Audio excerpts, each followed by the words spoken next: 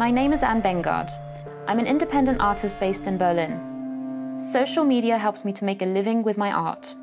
Platforms like Instagram not only allow me to showcase my work and process in a very personal way, but also lets me engage and connect with a variety of people from around the globe. This has been an incredible source of learning and cultural exchange, but people like you also sharing and crediting my work on online platforms has also tremendously grown my business. However, publishing lobbyists are currently pushing to apply Article 13 a new censorship plan which would drastically change how I can use social media and how you see content.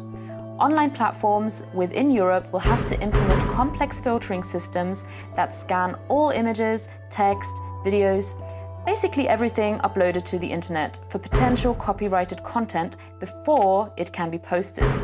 If any likeness to copyrighted content is detected, it can be deleted without notice. Copyright is a sensitive and complicated matter.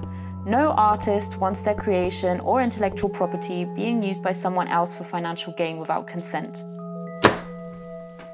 Can an automated system make such sensitive and contextually specific judgments? I don't think it can. Even when doing an Instagram story, I have to be really careful that I don't get any big logos or anything like that in the background. And when I'm doing my usual museum and gallery visits to show you guys some cool artwork for educational purposes, the same thing applies. So even if I wanted to share another artist's work with you with their permission, I may not be able to do so thanks to these filters.